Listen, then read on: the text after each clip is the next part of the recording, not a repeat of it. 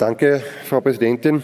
Hohes Haus. Für uns war dieser KOFAG-Untersuchungsausschuss insofern ein wichtiger Untersuchungsausschuss, weil es für uns Freiheitliche sozusagen der Beginn der Aufklärung der Corona-Katastrophe ist und vor allem der Aufklärung dessen, was Sie von der Bundesregierung gemeinsam mit den Grünen alles veranstaltet haben und was Sie kommenden Generationen angetan haben. Sie haben das Budget äh, außer Rand und Band gebracht. Sie haben kommende Generationen auf Jahrzehnte hinaus belastet mit Maßnahmen, die vollkommen widersinnig und irrsinnig gewesen sind. Das möchte ich an dieser Stelle mal sagen.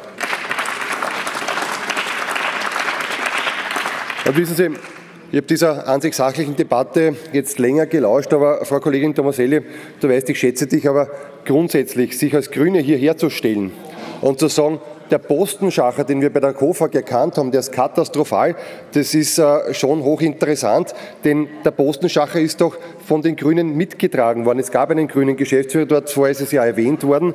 Und wissen Sie, wenn ich mir gerade anschaue, wer in der ÖVP aller gerade fehlt und wenn ich mir anschaue, was diese Bundesregierung im Hintergrund schon wieder für ein eigenes AMS eingerichtet hat, wo der Herr Brunner gerade wieder um einen eigenen Job rittert, wo der Herr Kocher jetzt schon Nationalbankchef werden möchte und weiß nicht, welche Jobs sie sonst noch verteilen, die ihnen eigentlich gar nicht zustehen, das ist die eigentliche Schande und die Grünen haben das mitgetragen bis zum heutigen Tag. Ich bin gespannt, wo der Anstand jetzt bleibt, wenn es dann ums Auspackeln dieser ganzen Sideletter geht.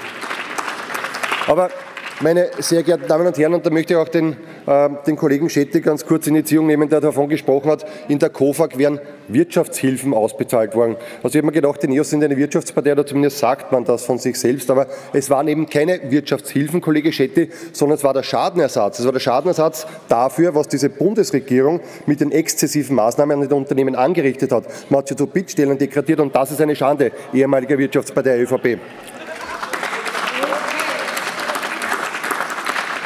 Und wissen Sie, ein Punkt ist auch ganz klar. Es wird uns das Paket äh, KOFAG angesehen haben und gesehen haben, dass man hier eine Parallelstruktur eingeführt hat, die nicht nötig gewesen wäre, weil da bin ich mit meinen Vorrednern durchaus d'accord diesbezüglich, dass man das ganz, ganz locker über die eigene Finanzverwaltung regeln hätte können, aber dann wäre die Möglichkeit nicht bestanden, an der parlamentarischen Kontrolle vorbei eine Fastlane für ÖVP-Günstlinge zu errichten. Und ich möchte jetzt gar keine Namen nennen, aber man kann, glaube ich, sechs oder 27 äh, Abgeordnete der ÖVP sich durchschauen, jetzt schon fast einen kleinen Adventkalender vorbereitet, wer sich aller diese äh, Schadenersatzgelder abgeholt hat und oft sehr unberechtigt. Ich werde keine Namen nennen, aber sie haben drei Modelle gehabt.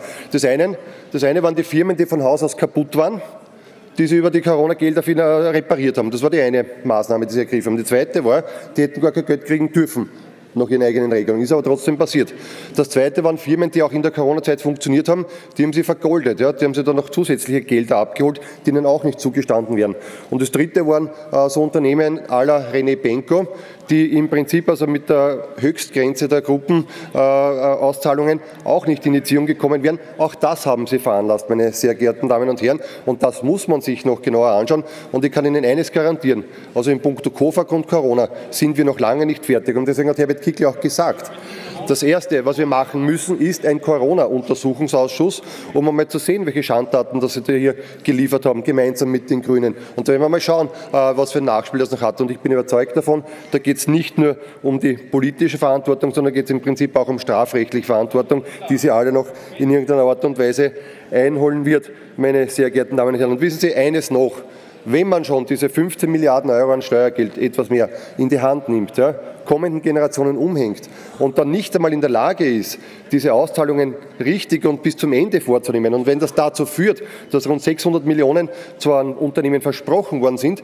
bis heute dort aber noch nicht angekommen sind, weil es nämlich Ihr Finanzminister Brunner, der jetzt Kommissar werden möchte, und der Herr Kogler, der halt lieber in irgendwelchen Fußballkabinen herumkugelt, ja, wenn sie die nicht einig werden darüber, wie man eine Verordnung macht, die rechtskonform ist und dadurch eine Insolvenzwelle der Sonderklasse ausgelöst wird, dann wissen wir, dass wir hier bei Ihren beiden Parteien das Schlechteste aus beiden Welten bekommen haben.